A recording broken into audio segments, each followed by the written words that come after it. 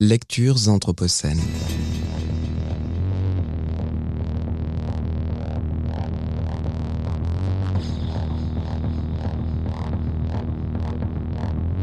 Lecture anthropocène.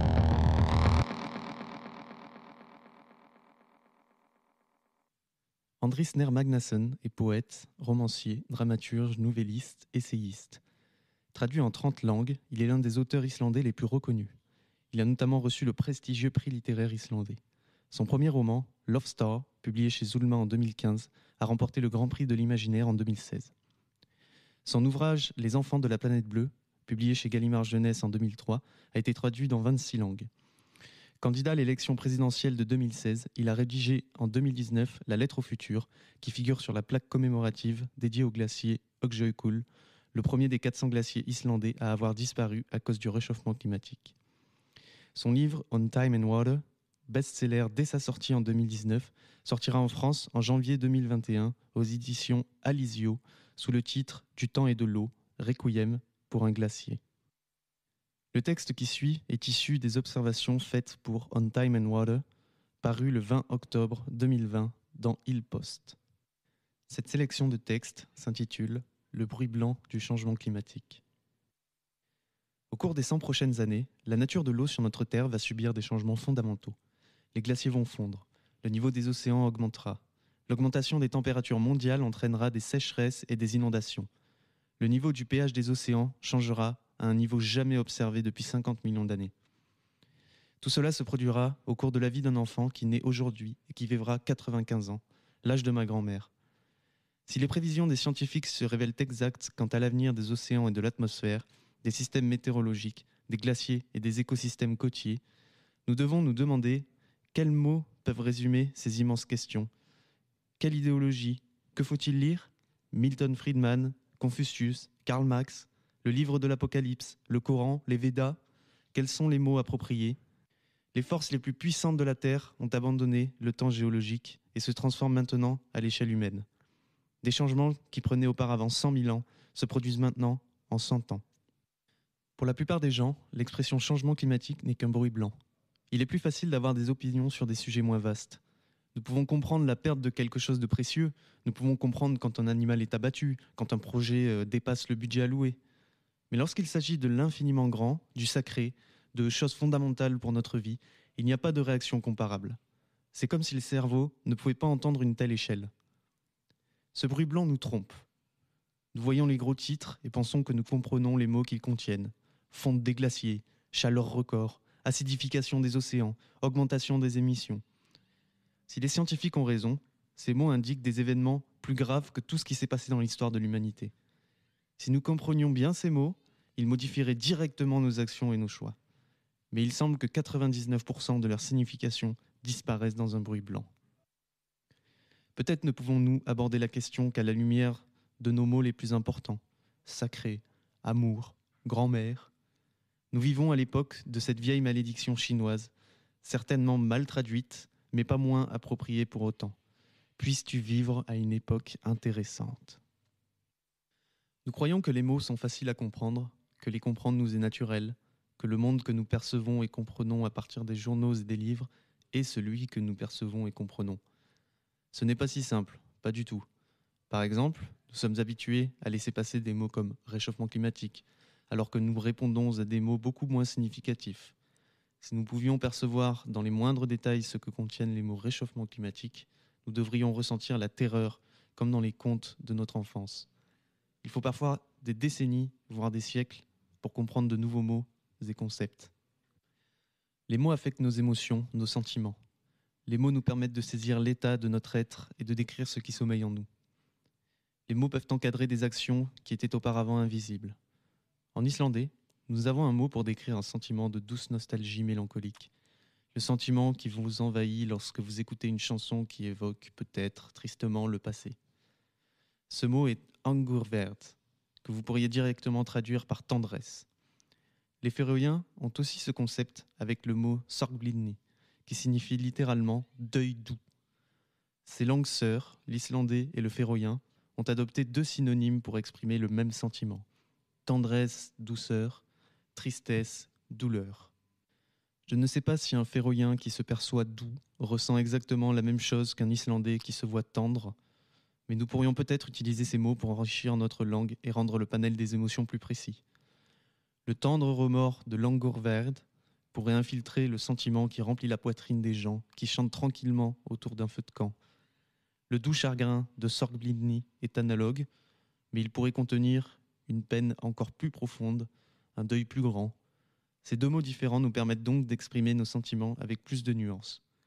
J'ai ressenti une étrange Angorverd lorsque j'ai regardé ces vieilles photos avec grand-père. Maintenant qu'il est parti, mon cœur est rempli de Sorgblindni. Comment parler de quelque chose qui dépasse la langue? Quels mots choisissez-vous lorsqu'un scientifique vous montre combien tout va changer dans les 100 prochaines années? Comment les glaciers disparaîtront et deviendront des océans? Comment l'océan s'élèvera et avalera les zones côtières? Tandis que le pH des océans, l'acidité, changeront plus qu'ils ne l'ont fait au cours des 50 millions d'années échues. Comment comprendre 50 millions d'années? Comment comprendre une baisse de 0,3 sur l'échelle logarithmique des niveaux de pH? 50 millions d'années est un pas de temps trop grand pour être compris. 0,3 dans le pH semble trop petit et abscon pour être entendu. Il y a peu, j'étais au restaurant, l'une des premières sorties au restaurant depuis le mois de mars. Le serveur nous a expliqué qu'il n'avait plus de crème brûlée, mais qu'il avait un autre dessert à nous proposer, des sneakers déconstruits. J'ai trouvé cela drôle et symbolique d'une manière étrange, car je repensais à la première fois où j'ai entendu le mot déconstruction. C'était probablement en 1994. J'avais commencé des études littéraires à l'université d'Islande et notre professeur introduisait des mots et des concepts de penseurs comme Derrida et Foucault. Déconstruction, avec des concepts comme analyse du discours et marginalisation. Je me souviens à quel point ces mots me semblaient étrangers, presque stupides. Cela ressemblait à un jargon inutile, créé pour construire une tour d'ivoire académique, et en 2020, on me servait des sneakers déconstruits dans un restaurant. Il aura fallu un quart de siècle pour que ce mot sorte de sa tour d'ivoire académique et entre en cuisine. Beaucoup de mots ont émergé ces dernières années. Par exemple, Rebecca Solnit a créé le mot mansplaining, l'attitude d'un homme expliquant des questions complexes à une femme comme si elle était un enfant. Quelque chose que des femmes très pointues dans un domaine rencontrent souvent de la part d'hommes n'ayant pas de connaissances particulières en la matière. Rebecca Solnit a créé ce terme suite à une expérience personnelle. Un homme lui a expliqué un livre, alors même qu'il s'adressait à son auteur. Aujourd'hui, nous pouvons émettre trop de CO2 sans qu'aucun mot ou aucune loi ne nous en empêche. Nous avions un mot qui émergeait, Flixcam, flight shame, mais il ne couvrait pas l'ampleur de notre impact. Il est scientifiquement prouvé que nous sommes la cause de problèmes qui vont s'aggraver dans les prochaines décennies jusqu'à peser sans commune mesure sur nos enfants. Et pourtant, nous n'avons pas vraiment de mots, pas même un hashtag comme MeToo qui signale notre comportement. Après 30 années de discussion sur les climats, nous ne semblons toujours pas comprendre pleinement le problème. Et le temps presse. Alors que la nature a quitté la vitesse géologique du changement pour rejoindre le niveau humain, nos réactions restent à l'échelle géologique. La baisse du pH des océans de 8,1 à 7,7 semble faible, alors qu'il s'agit du plus grand changement dans la chimie de notre planète depuis 50 millions d'années. Une personne vivant aujourd'hui peut mesurer au cours de sa vie des changements plus importants dans les océans que non seulement l'ensemble de l'évolution de l'homme, mais dix fois plus. Un tel changement n'est pas de l'histoire, c'est de la mythologie. Des scientifiques ont affirmé qu'Oppenheimer a marqué l'entrée dans une nouvelle ère géologique. Trinity, nom de code du premier essai d'une arme nucléaire, pourrait être le point de départ de l'Anthropocène. À partir du 16 juillet 1945, notre empreinte a été formellement mesurable sur toutes les surfaces de la Terre, dans tous les sols, toutes les pierres et tous les métaux. L'homme avait commencé à affecter la Terre comme le font les grands phénomènes géologiques. Quelques humains avaient le pouvoir de détruire toute vie. Parallèlement, d'autres activités humaines sont devenues si importantes que les années d'après-guerre ont été appelées la grande accélération. Depuis lors, les effets des activités de l'homme sur la Terre ont augmenté de façon exponentielle, en même temps que la biodiversité a pris une toute autre direction. Il semble que nous perdions une espèce pour chaque nouvelle marque, Apple, Tiger, Amazon.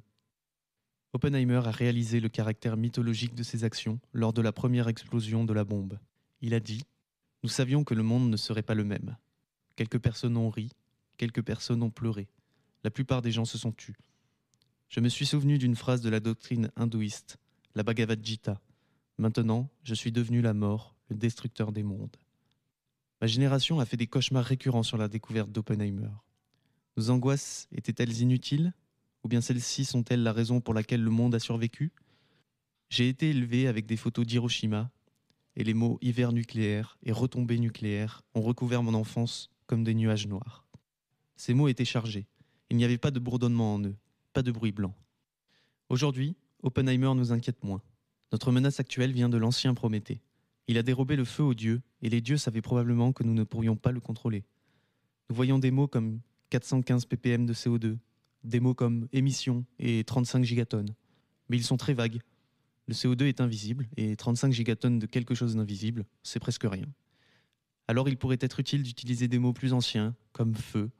La plupart des émissions proviennent de feux invisibles, cachés dans les voitures, les usines et les centrales énergétiques.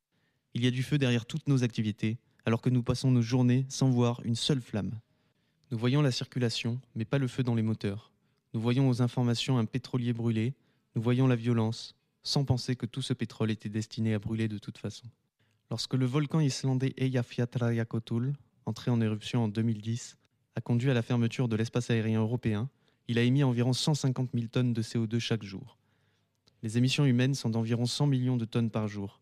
Donc, si nous traduisons les activités humaines en éruptions volcaniques, nous pouvons observer que les émissions humaines sont équivalentes à 666 volcans. Si vous interrogez un géologue pour savoir quand la Terre a connu l'éruption simultanée de 666 volcans, il remontera à des millions d'années, à des époques de perturbations majeures dans tous les systèmes terrestres. C'est exactement ce qui se passe actuellement. Les dieux avaient probablement raison lorsqu'ils ont puni Prométhée pour avoir volé le feu. Nous avons allumé les plus grandes flammes que la Terre ait jamais vues. Comme Oppenheimer, nous devons regarder les flammes et nous demander Sommes-nous devenus la mort, les destructeurs de notre monde?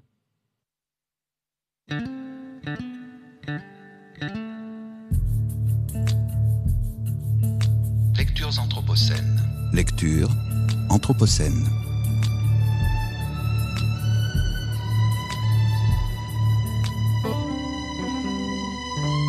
Lectures anthropocènes.